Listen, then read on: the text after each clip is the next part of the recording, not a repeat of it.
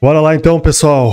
Quarta-feira, super quarta, dia primeiro de novembro, 10 horas e 39 minutos. Vamos lá, tivemos fechamento do mês para o Bitcoin e tivemos o movimento que eu previ aí, pelo menos até agora, o movimento que eu falei para vocês ontem. Hoje é dia de armadilha, pessoal. Então vamos lá, hoje eu vou comentar aqui para vocês sobre essa movimentação do Bitcoin, né, que eu espero aqui agora no curto prazo, a, a principal zona de suporte uh, que os touros aqui não podem perder e os ursos estão de olho nessa região. Vou comentar para vocês aqui agora daqui a pouquinho sobre isso. Vamos olhar então a liquidez também também para o Bitcoin importante a liquidez que pegou agora há pouco aqui, ó. Agora há pouco pegou uma liquidez importantíssima o Bitcoin. Comentei para vocês ontem sobre isso. Quem não perdeu a live de ontem tá por dentro aí. Vamos olhar também aqui então as zonas de suporte importante no curto prazo, olhando o Open Interest aqui do Bitcoin. Também zonas onde tem aqui su ah, uh, suporte de ordens aqui para o Bitcoin, olhando o Trading Light. Que zonas que o Bitcoin tem que ficar de olho aqui agora. Na minha opinião, na minha opinião aqui agora, antecipando para vocês, tem uma zona forte de liquidez aqui embaixo nessas regiões que eu estou de olho aqui agora. Se o Bitcoin perder, essas zonas 64 mil dólares. Também vamos passar aqui rapidamente o Ethereum. Antes de mais nada, não se esqueça aí ó, de ir aqui embaixo do vídeo, apertar esse botãozinho do like. É extremamente importante para apoiar aqui o canal se você gosta dos conteúdos, tá? Também se inscreva, ative as notificações para você não perder nenhum vídeo e análise do Bitcoin. Certo, caras? Vamos lá então. Antes de começar aqui, pessoal, vamos dar uma olhadinha aqui em algumas coisas importantes aí, né? É, hoje a gente tem então a super quarta. Vamos ter aí a fala do John Paul por volta das 3 horas da tarde, 3 e meia da tarde, na verdade. Vamos fazer aqui essa análise aqui, porque essa armadilha, essa armadilha aqui tá acontecendo, pessoal. Comentei pra você sobre isso ontem aqui, né? Então, quem pegou essa oportunidade aqui, tá, fez um bom negócio. Só que é o seguinte, agora, pros, to pros ursos aí ficarem, né? Os ursos ficarem realmente um pouco mais confortáveis, é importante o Bitcoin perder essas regiões aqui dos 34 mil dólares. Se o Bitcoin perder os 34 mil dólares, essas zonas de demanda aqui, ó, do Smart Money, inclusive, a gente pode ter problemas se Bitcoin buscar regiões mais abaixo, tá, pessoal? A gente, inclusive, tem aqui o CPR mensal do mês virou aqui agora, olha só, o CPR mensal virou. Esses são as zonas do CPR mensal, essas zonas aqui branquinhas, ó, a gente tem então os níveis aqui, ó. Então, primeiro uh, nível aqui dos pivôs centrais é a região dos 33.500 dólares. Segundo nível, 32.386, que é a zona que eu vou tentar aqui bem próximo realizar essa parcial aqui nessas vendas que eu comentei para vocês. Se Bitcoin bater nessas regiões aqui, pessoal, vou estar tranquilo, vou poder aí seguir no feriado, né, uh, com um pouco mais de paz, tá? Então, porque realmente está tenso para mim aqui, não gosto de ficar vendido no Bitcoin, não é, é, tenho prazer em vender Bitcoin, não é isso, mas eu quero acumular mais Bitcoin, por isso que eu estou aqui fazendo essas análises, tentando, uh, né, sempre acumular mais Bitcoin. Então, para mim, essa zona dos 32.800 aqui, 32 mil, desculpa, 32.400 dólares mais ou menos, é uma zona que eu estou de olho se o Bitcoin pegar nesses pivôs centrais, e eu acredito que é saudável o Bitcoin e testar essas zonas aqui, tá? Montar um suporte até essa região aqui dos 31.200 aqui por aqui, ó, montar um suporte nessas regiões para continuar essa tendência de alta, tá bom? Então, para mim, é, o Bitcoin fazer isso aqui seria muito saudável, tá bom? Está bem esticado, tá? E você shorta se você quiser, de fato, se você tem experiência nesse tipo de, né, de operação, tá bom? A zona que a gente tem que ficar de olho, que é o mais importante, pessoal, pro Bitcoin, é a região dos 34 mil dólares. Olha só como a gente tem open interest aqui nessa zona, vou mostrar para vocês aqui agora sobre isso, tá? A gente tem uh, uma zona forte de open interest aqui no agregado, nessa região dos 34 mil dólares, que o Bitcoin não perdeu, tá? 34 mil dólares também é a região que tem um pequeno suporte na região dos 39.900, tá? 34.900, desculpa, 34, nós estamos nos 39 ainda. 34.900 temos um, uma região aqui também de suporte para o Bitcoin. Então, se ele começar a perder os 34 mil dólares, eu acho que bem provável a gente buscar zonas mais abaixo. Tivemos muito, nessa subidinha, tivemos aqui muita liquidação aqui, pessoal, tá? Ó, liquidações de shorts aqui a gente teve uh, no agregado aqui cerca de 6 milhões de dólares, não é, não é tanto assim, mas é, é, considerável. Não tivemos tanto aqui compra mercado, mas considerável aqui, bastante liquidações, na minha opinião, tá? Então, olha só, esse suporte aqui do Bitcoin, ó, esse suportezinho aqui, pessoal, dos 34 mil dólares, que se o Bitcoin perder, ele vai deixar essa galera presa aqui, tá? E essa galera vai virar liquidez mais abaixo, tá bom? Então, esse é o suporte mais importante, tá bom? Se você tá em long no Bitcoin aqui, tome cuidado se o Bitcoin perder os 33.900, porque se perder os 33.900, essa zona aqui vai virar uma zona de resistência, tá bom? Porque a galera ficou presa aqui, vai crescendo 0 a 0 e você sabe como funciona o mercado, tá bom? Então, essa região que eu tô de olho aqui agora no curto prazo, tá? O que vai definir pra gente aí né, o que pode acontecer no dia de hoje, tá bom? Então, assim, moderem, obviamente, a alavancagem, porque é um dia que vai ser bastante volátil, né? A gente vai com essa fala do Jerome Powell, né? Vamos olhar também SP500 que deu uma subida hoje aí, mas tá um dia maluco porque o DXY também está subindo junto com o SP500, tá? É um dia extremamente maluco aqui pra gente, tá? Então fiquem de olho. A Fanifi continua bastante positiva aqui, né? A predicted aqui, tá? Então ela tá positiva a Fanifi. Uh, isso é um sinal, na minha opinião, um pouco ruim aí, tá? Então fiquem de olho aí, tanto os touros quanto os ursos na região dos 34 mil dólares, eu acho que é essa zona que vai formar aí pra gente uma decisão. E dependendo hoje, mais tarde, farei um vídeo aí para potencialmente para os membros aí sobre esse próximo movimento Bitcoin,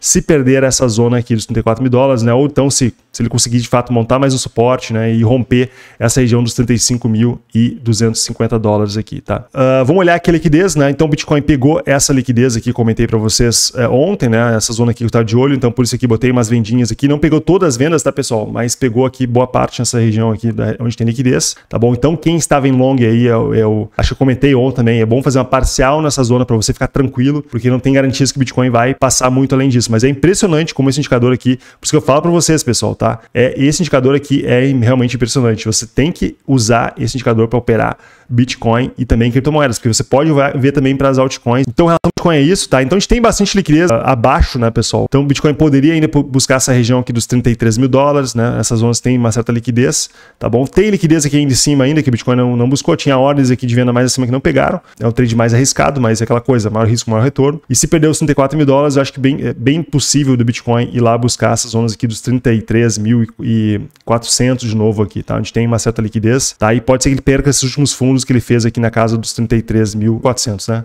Esses últimos fundinhos que ele fez aqui. O Ethereum, cara, eu acho que tem uma oportunidade interessante do Ethereum pode acontecer aí, tá? Eu acho que o Ethereum ele pode dar uma certa oportunidade de estar tá aí numa região aqui que eu considero, né? dentro desse canalzinho aqui, ele poderia testar regiões mais acima aqui ainda, tá? A região dos 2 mil dólares aqui, pelo menos, essa região nesse último topo, ele poderia voltar a testar. Ele não subiu muito com o Bitcoin, tá bom?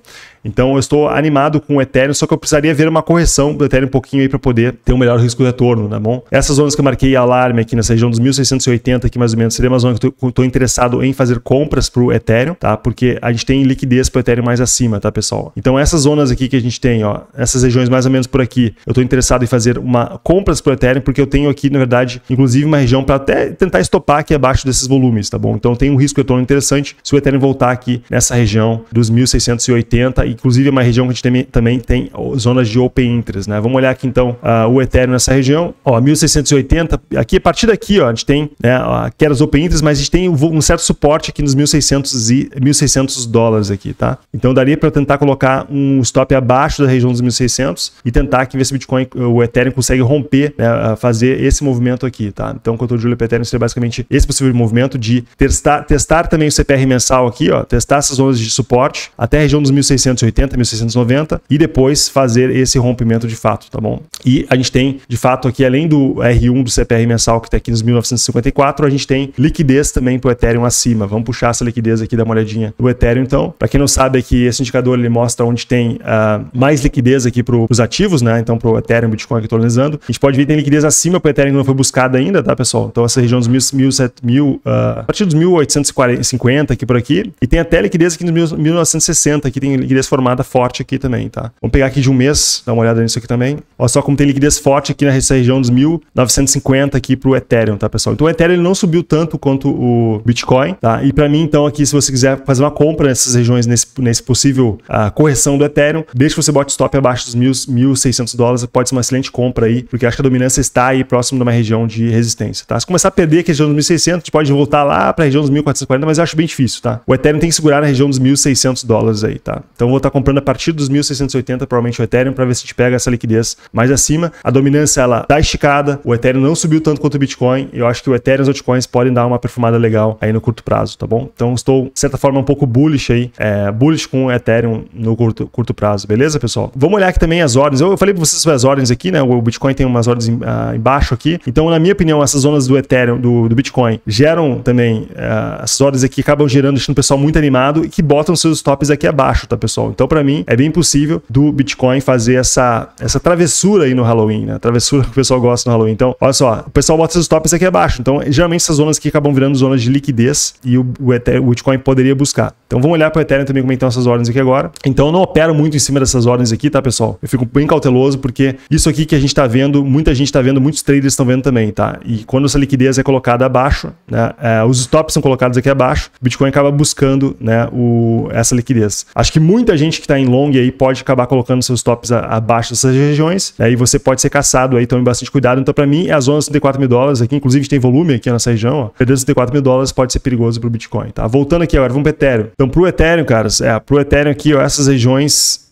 Aqui temos também os vários imbalances também, que eu não comento muito aqui para vocês no canal, mas são zonas que o Ethereum poderia buscar, né? Que tem uma certa, certa região de interesse. Então, para mim, uma zona interessante para comprar o Ethereum a partir dos 1.680 até essa zona aqui, ó, dos, uh, até a zona próxima dos 1.600 dólares, tá? Por unidade pode ser uma, bom, um bom, uma boa compra para o Ethereum para fazer essa, buscar essa liquidez mais acima, tá bom? Então, eu vou atualizar vocês à medida possível aí, e se você quiser ter updates mais rápidos aí, eu vou tá, tentar agora com essa volatilidade voltando ao Bitcoin, eu vou fazer updates lives aí curtas para os membros do canal, tá bom? Então, não deixe de participar também, uh, se tornar membro do canal, porque você não, se você está aí realmente em uma operação do Ethereum Bitcoin, você pode receber, receber updates meus aí. Não deixe de participar. Tá? Também participe como VIP do canal, que por enquanto ele é gratuito, tá, pessoal? Então tem um membros e VIP do canal abaixo, tá bom? Basta você dar uma olhadinha nos links abaixo depois na reprise aqui dessa live e nos vídeos aqui que eu posto diariamente. Ah, SP500, vamos falar sobre SP500 também, que segurou aqui nessa zona de suporte nesse momento, tá? SP500 aqui tá demonstrando força, segurando nessas regiões. Até comentei para vocês que poderia ser uma boa zona fazer uma compra na SP500, tá? Então tem que ficar de olho aqui agora se a SP500 vai conseguir, né, uh, romper esses últimos fundos aqui e continuar esse movimento, tá? Ou se ela vai de fato aqui aqui fazer essa, essa correçãozinha aqui. Se fizer isso aqui, pessoal, ó, vai ser realmente dramático aqui para os mercados, tá bom? Mas por enquanto tá numa zona importante de suporte que ela não pode perder, é uma zona que eu considero extremamente crítica para a SP500, tá bom? Comentei para vocês em outras análises sobre isso. E o DXY tá subindo junto com a SP500, que é bizarro hoje aí também, tá, pessoal? Deu uma subidinha junto hoje aí. Então o mercado tá bem hoje, bem estranho aí, tá? Bom, tem que ver como é que vai ser essa fala de Jerome Powell, tá? Não posso tentar aqui, não tem nem como adivinhar para vocês muito, mas me parece que o DXY vai continuar esse movimento, essa tendência de alta aqui e romper esse último topo, tá bom? Eu acho que é mais provável aí, beleza? Mas é uma análise aqui do DXY e SP500 que tem uma correlação, está tendo uma correlação muito baixa com o Bitcoin, tá bom? Então é só para a gente poder ter uma noção para onde o mercado pode ir, né? Uh, e também mitigar um pouco né, o nosso risco aí com, com o Bitcoin se você está muito exposto também, né? Então assim é bom é bom pensar sempre nisso porque os mercados aí se, se tiver correção forte a gente pode ter problemas para o Bitcoin no curto prazo, beleza? Fechou, caras? Eu acho que é isso. Só questão de risco e retorno vocês nos trades aí, tá? Desejo vocês bons trades, uh, sucesso aí. Participe do grupo VIP para vocês terem um contato direto mais comigo, com outros traders também lá. Estou é, bem animado com esse projeto, preciso mais gente participando, tá? Então participem do grupo VIP. É, então vou deixar para vocês aqui o link para vocês participarem do grupo VIP, andefalt.com.br VIP, se cadastre, vou dar uma olhadinha, inclusive. Uh, até, até antes do feriado, eu vou dar uma olhadinha quem se cadastrou lá para validar. Quem for quem operar na Bybit, quem operar na Bybit pode mudar essa conta aí se você não é afiliado Lá dentro do grupo tem a opção para você conectar essa conta da Bybit. E se você conectar a conta da Bybit for afiliado, você pode participar gratuitamente do grupo VIP, tá bom? E se você estiver participando, você fica lá. Por enquanto, o grupo VIP está gratuito. Então não perca essa oportunidade de bear market para você participar do grupo gratuitamente, porque no bull market provavelmente vai ser cobrado, tá bom? Vou botar mais gente para me ajudar lá. O grupo VIP vai ser cobrado. Então participe, aproveite as oportunidades aí, pessoal. Conteúdo muito barato, tá quase de graça ali para os membros. Tem o grupo VIP. Não deixe de aproveitar essa oportunidade que quando o Bitcoin voltar a subir forte em bull market aí, uh, vai ficar bem mais caro as coisas para vocês, tá bom? Então, por enquanto tá de barbada para vocês aí. Eu sei que a galera tá, não, tá, não tá numa boa situação aí, bear market, ninguém tá com muita grana aí, né, pessoal? Eu sei como funciona. Beleza? Então, eu entendo vocês aí, por estou tentando ajudar o máximo possível, beleza? Então, é isso. Se você gostou aqui do vídeo, não esquece de deixar esse, esse like de vocês aí, de apertar o botão certo aqui. Deixa o likezinho de vocês aí para apoiar aqui as mais, mais análises aí também. Comente nas, nas reprises, nas, nas, nos recortes que estão sendo feitos no canal para apoiar aqui fazer cada vez mais conteúdos. Quanto mais visualizações tiverem sendo feitas aqui no canal, mais conteúdos, mais eu vou motivar com esse projeto, tá bom? Então, no mais, a gente se vê aí, uh, talvez à tarde, dependendo da movimentação do preço do Bitcoin. Beleza? Um abraço.